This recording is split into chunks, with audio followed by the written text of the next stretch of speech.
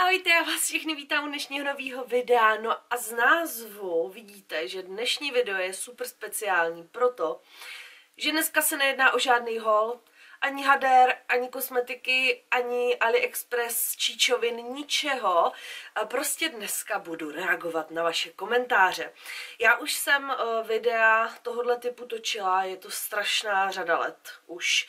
Myslím si, že jsem videa vydala dvě na to, jak reaguju na komentáře. Tak nějak jsem se rozhodla, že uzrál čas, abych trošku zareagovala nebo zreflektovala vaši zpětnou vazbu, co říkáte na moje videa, jak na ně reagujete, co píšete dole pod, eh, pod těma videama.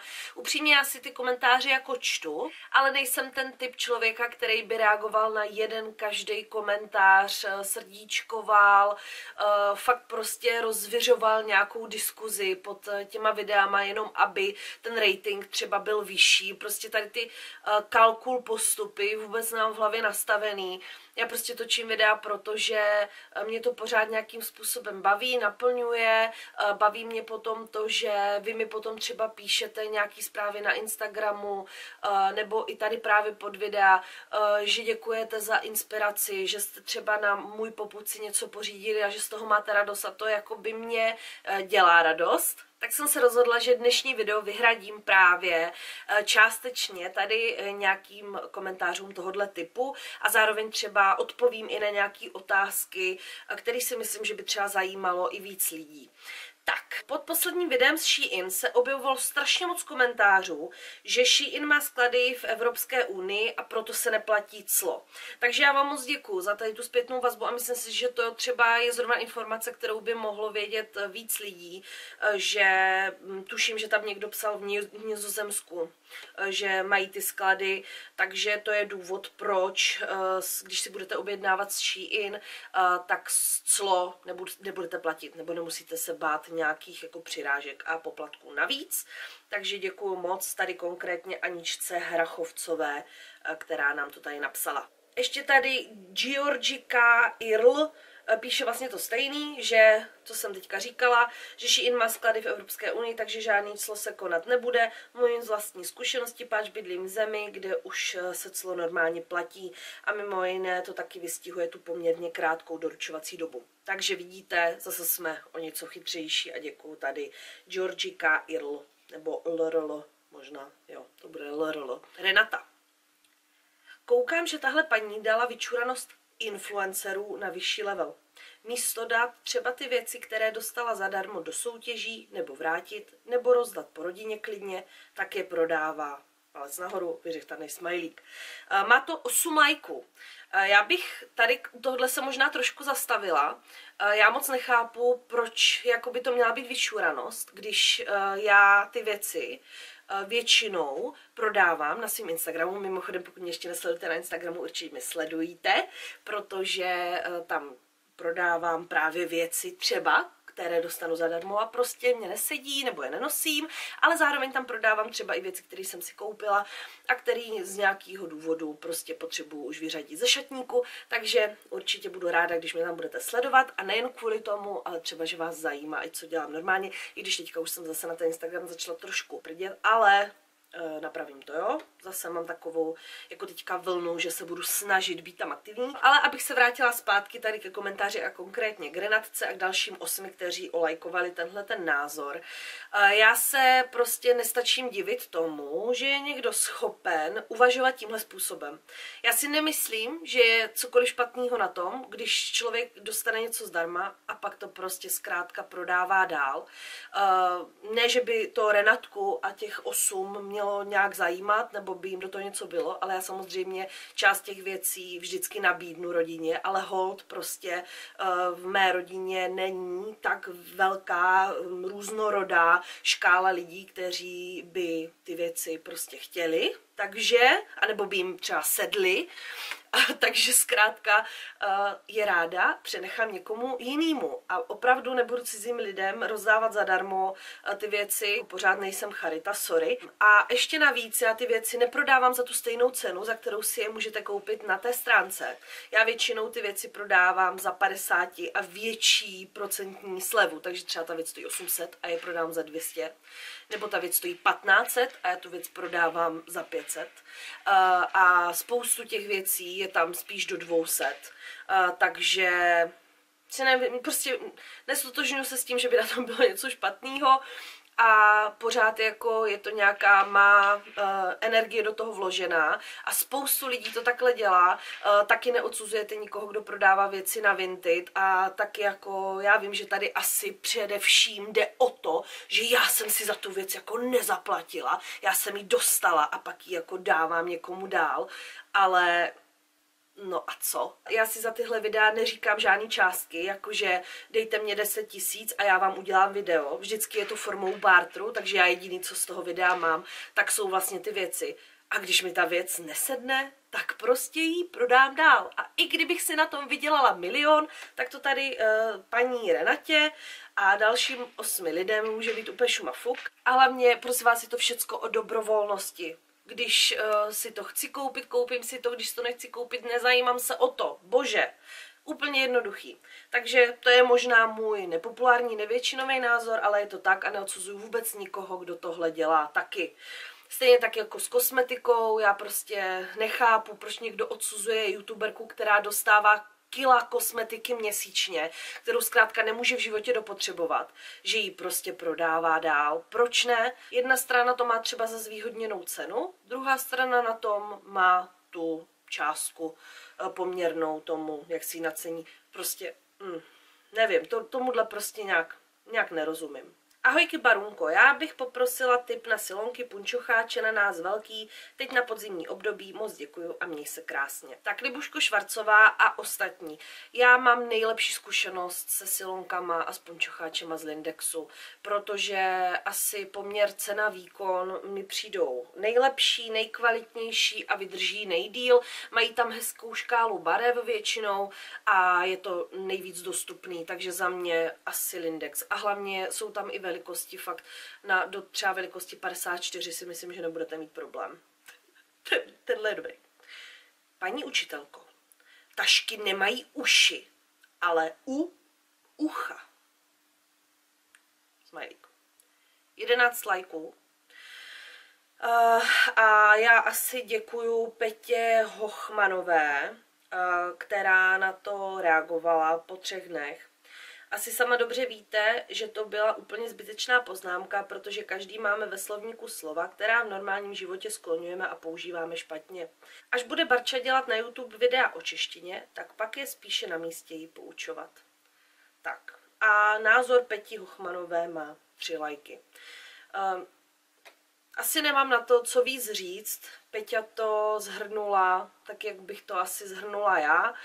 Já zase vůbec nerozumím tady těmhle těm komentářům. Co člověka vede k tomu, aby napsal tenhle typ komentáře pod video, který je o hadrách, prostě o číčovinách, holčičích kravinách a má potřebu jako poučovat, a zároveň se mi to zdá lehce nedotažený, jo, ten komentář nebo ta výtka, protože pokud vadí, že jsem místo pojmu ucha užila slovo uši, tak pak by mohlo taky drobně vadit, že třeba používám uh, na koncích sloves u, nakupuju, použiju, že nemluvím jak kniha spisovnou češtinou. A zároveň ještě bych tomu chtěla eh, dodat, že si nemyslím, že když je někdo učitelem, že se z něho stává nějaký nadčlověk nebo robot, který nedělá prostě chyby jako běžný smrtelník. Já mluvím nespisovně, mluvím tak, jak mě zobák narostl a mluvím tak i ve vyučování. A teď jo,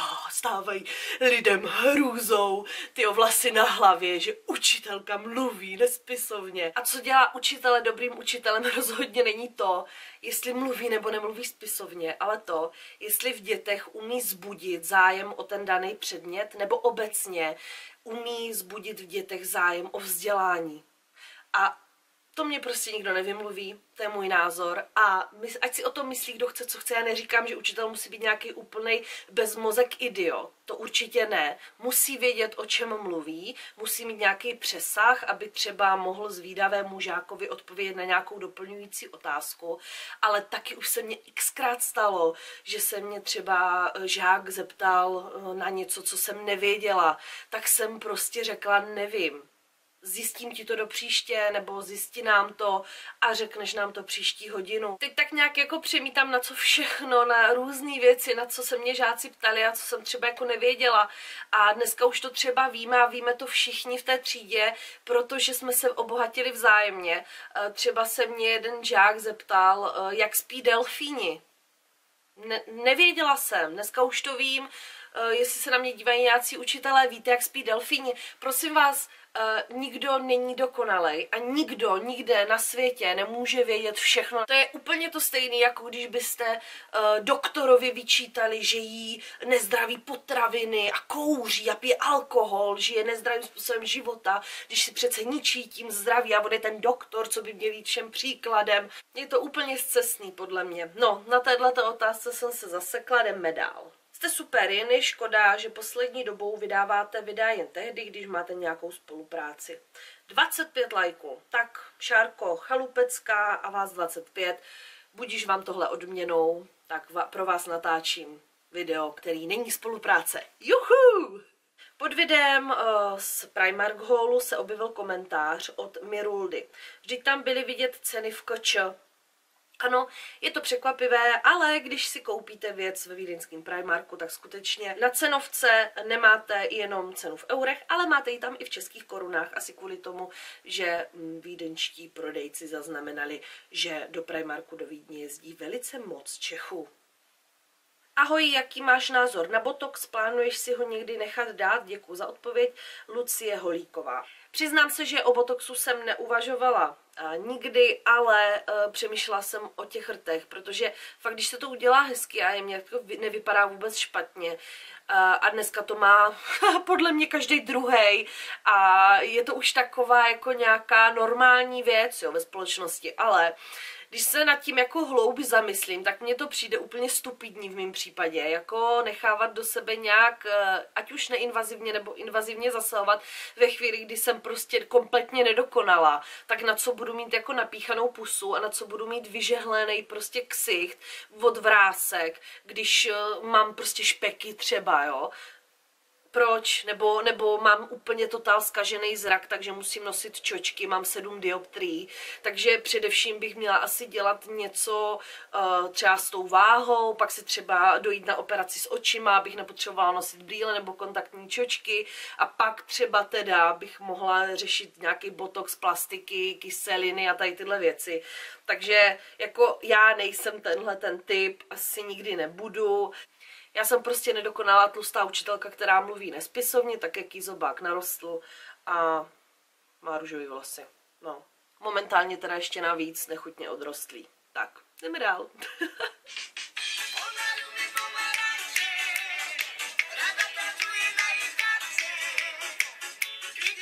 Co? Jaký poučovej? Co, co, co si to dovolil?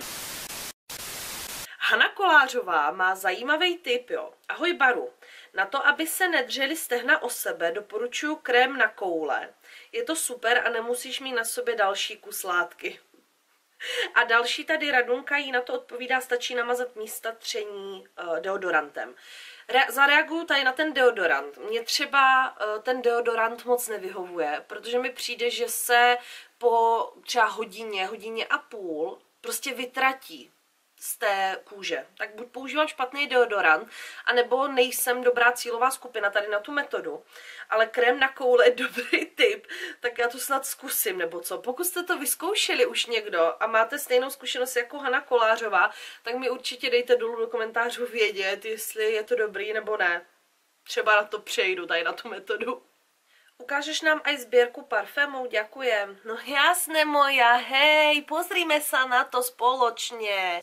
Gucci, Prada, Prada, Gucci, Gucci, Prada, Prada, Gucci, Gucci, Prada, Prada, Gucci, Gucci, Prada, Prada, Gucci, Gucci, Prada, Prada, Gucci, Gucci, Prada, Prada, Gucci, Gucci, Prada, Prada, Gucci, Gucci, Prada, Prada, Gucci, Gucci, Prada, Prada, Gucci, Gucci, Prada, Prada. Pod videem s recenzí na Lalosi Lagíny se objevil komentář od Kateřiny Dvořákové. Jsem zvědavá na recenzi po delším nošení, zda je pravda, že se rychle vytahají, odřou ze žmolkovatí.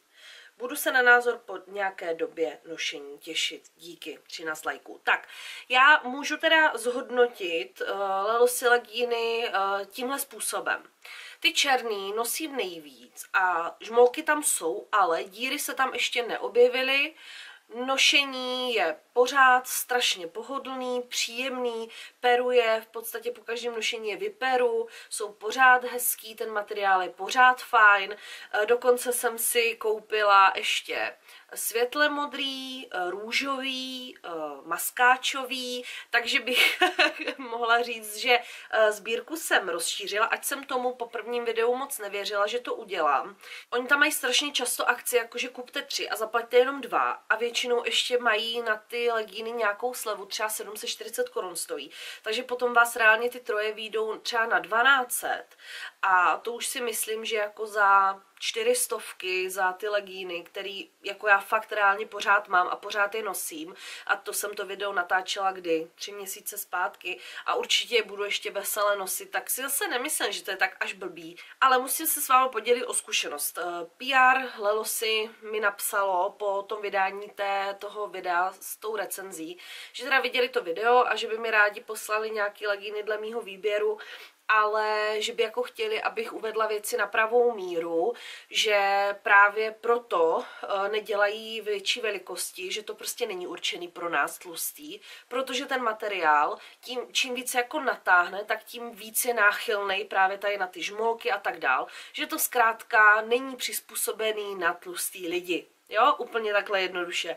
Že je to jako prohubený, kterým se právě neodírají ty stehna o sebe, protože ví, že uh, tím, jak je ten materiál exkluzivní a strašně příjemný a je to top strop a s kýmkoliv jsem mluvila o těch legínách, tak fakt jakoby uznal, že ten materiál je top. Jako super, skvělý, příjemný, výborný, ale má to právě to úskalí, že nesnese, když se jako dře o sebe, ta látka. Že to prostě se rychle opotřebuje a proto oni to nedoporučují právě na postavy mýho typu a samozřejmě i tu průhlednost, že když se to prostě natahuje, natahuje a je to natáhlý moc, takže samozřejmě ten materiál ztrácí na té neprůhlednosti, jo? Takže hele, aniž bych eh, si teda dvoje legíny zdarma vybrala, protože jsem jim odpověděla, že jako uh, jsem dle mýho řekla v tom videu všechno, co jsem říct měla, protože jsem to četla z jejich oficiálních stránek,